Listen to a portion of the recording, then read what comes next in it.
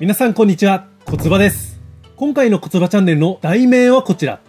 新帝誕生、三条天皇の陣容。三条天皇在位5年間の首脳陣の面々はいかに？ということで、今回のこつばチャンネルは、1011年に一条天皇が上位後に、宮貞親王が即位して、新帝三条天皇が誕生することになりますが、そんな三条帝の御代5年間で、その政権を支える苦行犠牲官ら首脳陣を紹介したいと思います。1011年に上位した一条天皇は980年生まれで、新帝三条天皇は976年生まれということで、年齢で言うと三条天皇の方が年上となります。そしてこの二人はいとこという間柄です。三条天皇の兄には、神奈の変で藤原の金家らの策謀により出家させられることになった火山天皇。そして父は霊勢天皇。母は道長の姉にあたる藤原の長子となります。光る君へでも三条天皇は東宮時代は道長のことを叔父上と呼んでおりましたが、叔父、甥という関係になりまして、道長は一条天皇とも叔父、甥の関係となっています。そして意外なことに三条天皇の父、霊勢天皇は967年に即位して、969年に上位して弟の延佑天皇が即位しておりますが、霊勢院は上位後40年以上存命で、三条天皇即位の1011年に崩御しています。光る君へでは大部分の放送は霊前院は存命となりますが、一度も登場していないかと思います。なので、霊前院は新帝三条天皇の即位の後に崩御しておりますので、自分の王子の晴れ姿を見たのではないかと思います。新帝三条天皇を支える陣容を紹介する前に、三条天皇の周りにはべる女性陣を紹介したいと思います。東宮時代の三条天皇、宮貞親王に受在した藤原の聖子、三条天皇が即位する20年前の991年に受在している藤原の聖子は三条天皇の長期として長年そば近くで支えています。この藤原の聖子の父は光る君へでは登場していない藤原北家小一上流の藤原の成時。藤原の道隆と親しく小に大納言まで登っています。しかし、藤原の聖子の父、藤原の成時は、まだまだこれからという時に、995年に流行していた疫病で多くの苦行がこの世を去りますが、この成時も疫病により亡くなってしまいます。これにより、藤原の聖子は、父という後ろ盾を失うことになりました。そんな藤原の聖子と三条天皇の間には多くの王子内親王が誕生しておりまして、この王子たちの中から次期天皇が出てくることを予感させるような状況が出来上がっています。厚明親王に至っては、後々に東宮となりますが、道長の圧力や自身の素行から東宮を辞することになりまして、結果的に加工していくことになります。藤原の聖子はこの時は存命なので、相当苦しい思いをしたことは推測できます。また、道長の娘である藤原の剣士が受代した後に三条天皇の中宮に建てられると、三条天皇はこの藤原の聖子を皇后として久しぶりの二皇並立となっています。そんな藤原の聖子は、この三条天皇の在位5年間を献身的に支えていくことになります。続いては、三条天皇が即位する1年前に受在している藤原の剣士を紹介したいと思います。道長とその着妻、源の林氏の間に生まれている藤原の剣士。少子の妹にあたります。1010年に東宮宮貞親王、後の三条天皇に受在しておりまして、三条天皇が即位した後には中宮に建てられています。994年生まれとなりますので、17歳での時代となって、さらには三条天皇とは年の差があって、三条天皇と藤原の聖子の間に生まれた第一王子である厚明親王とは同い年にあたるという状況となっています。三条天皇と藤原の道長の間をつなぐ役割がありましたが、三条天皇と道長は次第に対立が深まっていくことになります。1013年には三条天皇、藤原の剣士の間には、帝子内親王が誕生しておりますが、王子は二人の間には生まれておりません。そして、くしくもこの帝子内親王が生んだ御三条天皇の登場により、陰性に移り変わっていくことになるわけです。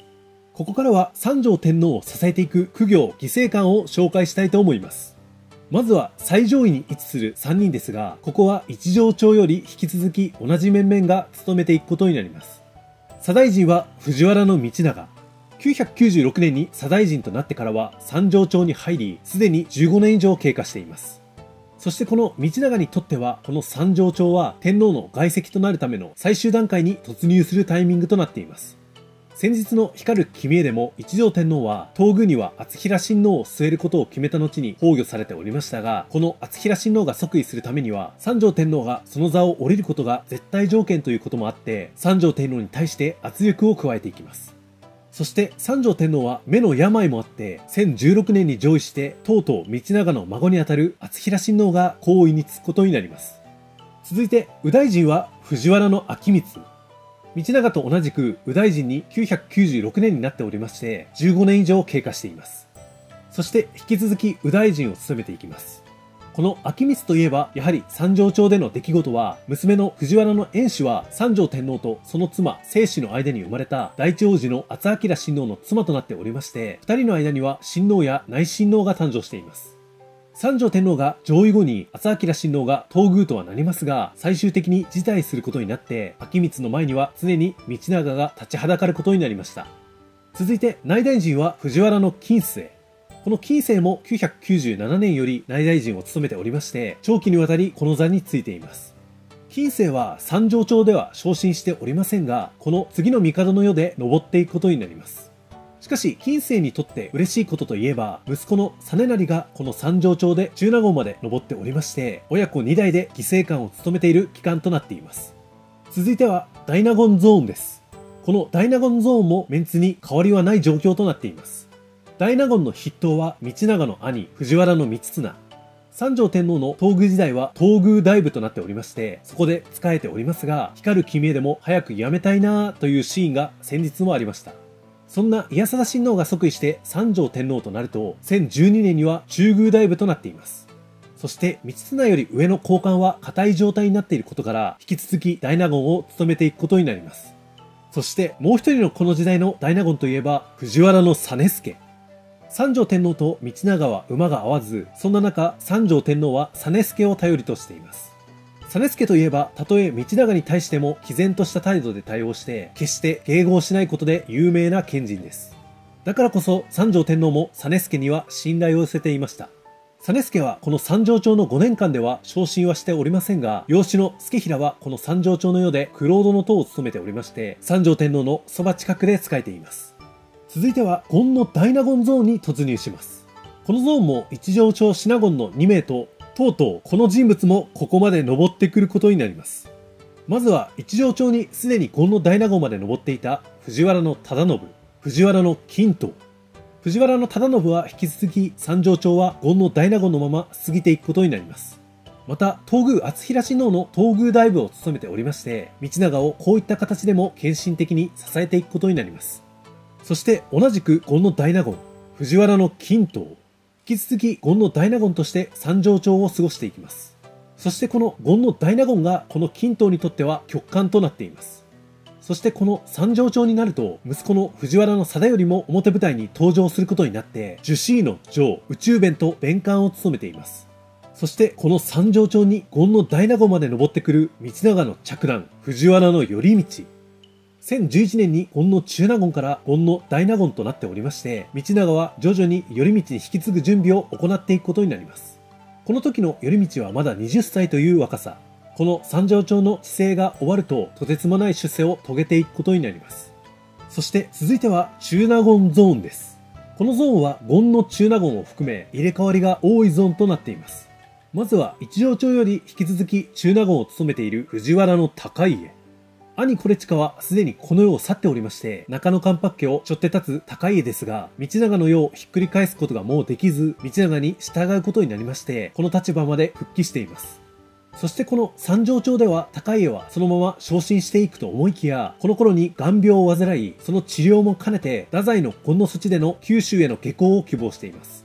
そしてこの三条町である1015年にはそれが叶い、太宰の今野措置として九州に赴任することになります。そしてそこでこの後に大活躍することになるわけです。続いての中納言は藤原時光。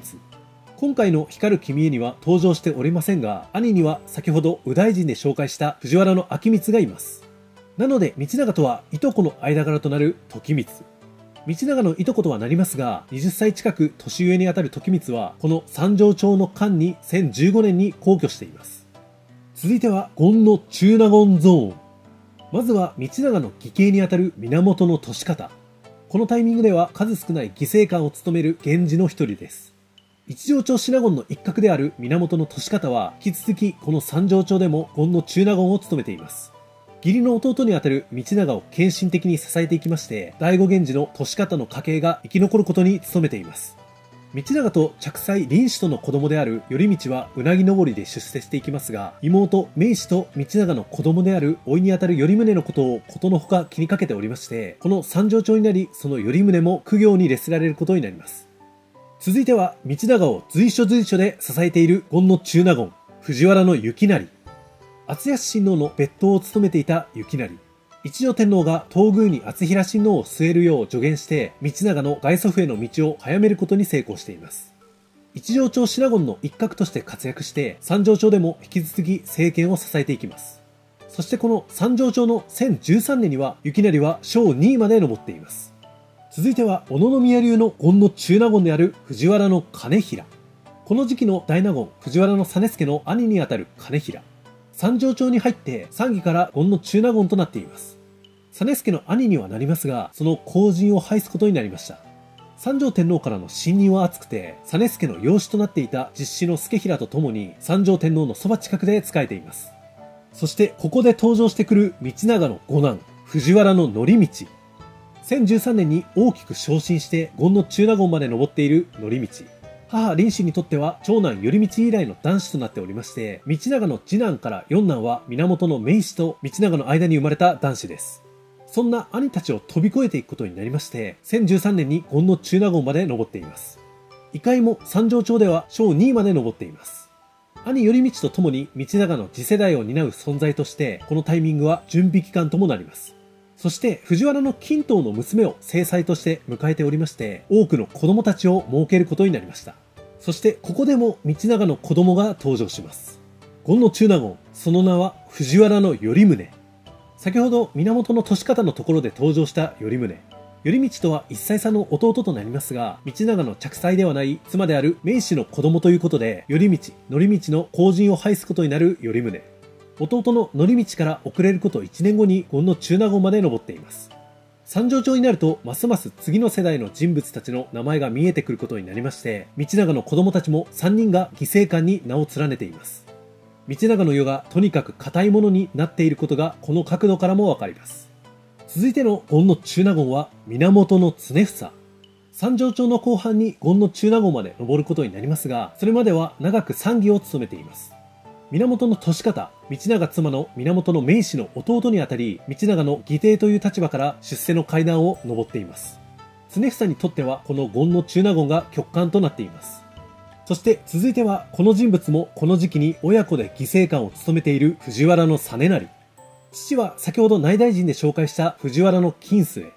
一条町ではクロードの塔、そして産業を務め順調に昇進していきまして、三条町の後期に権の中納言まで登ることになりました。醍醐天皇の血筋を引く会員流は、この金星、実成不死の子孫から大きく発展していくことになります。そして、ゴンの中納言ゾーンの最後は藤原の忠助。空をよく見上げていたことから、青木中納言と呼ばれた忠助は、藤原北家山影流の出の人物となります。本日紹介した藤原北家の中では、忠平の血筋を引かない初めての紹介となります。一条町より権の中納言を務めておりまして、三条天皇が即位した1011年はすでに68歳。そしてその2年後の1013年に70歳で皇居することになります。続いては三義ゾーンに突入します。権の中納言で紹介した源の常房や藤原の実成はこの三条町において産義を務めた後に権の中納言となっています。その他の産義を紹介すると、まずはこの人物から。関白を務めた亡き父、道兼の息子、藤原の兼高。父、道兼が疫病によりこの世を去ると、兼高は以降、叔父である道長に従うことになりまして、この地位に就くことになりました。一条町ですでに参議に任ぜられておりまして、三条町でも引き続き参議を務めることになります。続いては、この時期では唯一の宇田源氏の犠牲官となる源の道方。父は光る君へにも登場していた源重信なので、道長着妻の林氏はいとこにあたり、母は源の高明の娘ということから、源の年方、源の名士の甥にあたる人物です。なので、道長の次男頼宗はいとこにあたるという宇田源氏と醍醐源氏の間のような存在となっています。一条町、そして三条町でもクロードの塔を務めておりまして、1012年に参議となっています。そして1013年には小三味まで登っています。そしてご一条長になってさらに出世を果たしていくことになります。続いてはこの時期に3兄弟で犠牲官を務める藤原正光。兄にはこの時期に右大臣を務める藤原明光、中納言を務める時光がおりまして、この正光が三義と藤原兼道の息子3人が犠牲官を務めています。兄弟の中でとにもかくにも優秀だった朝照は995年に疫病でこの世を去っておりまして、正光はこの三義まで登り、三条町の1014年に皇居しています。続いては、この時期に藤原北家小一条流で唯一犠牲官を務めている藤原の道東。三条天皇のその信任は厚く、三条天皇の皇后藤原の聖子の弟にあたり、天皇とは義兄弟となっています。彼らの父である成時はすでにこの世にはないため、この道等の存在は精神的には大きいものとなります。三条天皇が即位すると、そのクロードの塔に任ぜられて、側近として使えることになります。姉である藤原の生死が生んだ厚明親王が皇位につくと流れは大きく変わる可能性がありましたが、三条天皇女位後には東宮となりますが、後に厚明親王は辞退してその夢は絶たれることになります。しかしこの道藤は最終的には恩の中納言まで登ることになります。続いては村上源氏の源頼貞。道長の妹で家貞親王、後の三条天皇の妃だった藤原の水死と通じて家貞親王の激鱗に触れ、はたまた藤原の明光の娘で一条天皇の女房であった藤原の原始とも通じて明光の激鱗に触れるなど何かと女性問題を起こし続ける頼貞。一条町ではクロードの塔、そして参議まで昇進しておりまして、この三条町でも参議を務めています。続いては三条町で犠牲官として初登場する藤原の金信。父は藤原の為光で、兄には忠信がおりまして、この金信も道長のいとこにあたります。七条町、そして三条町でもクロードの塔を務めることになりまして、1013年には参議に任ぜられて、兄弟で犠牲官となっています。兄忠信には後継ぎがおりませんでして、この金信が養子となっておりますが、兄に先立って亡くなってしまっています。続いての人物もこのタイミングで犠牲官として初登場する人物で、その名も藤原の朝常。朝がつくので少し予測できてしまいますが、道長いとこで藤原の明光の弟にあたる藤原の朝照が父にあたります。朝照は995年に疫病によりこの世を去りますが、とにかく優秀な人物として知られておりまして、その林が悔やまれた人材です。もし存命であれば、道長に次ぐ地位にいたことは容易に想像がつきます。その長男として生まれている朝常。父の死によりその昇進は停滞しまして、三条町の1012年にクロードの塔、そして1015年に参議となって苦行に列せられています。参議の紹介は本日次の人物が最後となります。その名は平の近信。桓武兵士で平清盛の形質である平時子やその弟の時忠の先祖にあたるのがこの近信。もともとは頭領を務めておりまして、三条町で参議となっておりますが、後に退いています。このタイミングでは短期間とはなりますが、唯一の兵士の犠牲官となっています。ここまでがこの三条町で犠牲官を務めた人物となります。このタイミングではここまでは登らずとも、この次の世代を動かしていく人物はすぐその下まで登ってきておりまして、新たな時代を予感させているのも面白いところとなります。石棺家の終焉に関連している道長の四男である慶喜は、すでにこの三条町では小三尾まで登っておりますが、悲惨儀となっています。また、小野宮流で言えば、藤原の金刀の子供であり、歌人として有名な貞頼は、三条町では樹脂の城、宇宙弁まで登っています。第五源氏、源利方の子供たち、秋元は守護位の城、高国は守護位の下と、後々にこの二人は交換に登ることになります。道長の兄である三綱の子供の兼常も三条町では小子の下まで登っておりまして、五一条町で三義まで登っています。ということで、今回は1011年から5年間皇位にあった三条天皇の御代の陣容について紹介させていただきました。多くが一条天皇の時から引き続き務めておりますが、道長の子供たちの登場や新たな世代の登場、三条天皇に近い人物が犠牲館まで登るなど、帝が変わるとその陣容も異なってきていることがわかります。そしてこの三条町はある種、道長の外祖父へのカウントダウンが始まることにもなりまして、さらに道長の牽制が強まっていくタイミングともなっています。光る君へでもここから三条天皇と道長の対立が始まっていくことになりますが、どのように描かれていくのか楽しみに見ていきたいと思います。本日はコバチャンネル最後までご視聴いただきありがとうございました。もしよろしければチャンネル登録、高評価よろしくお願いします。ありがとうございました。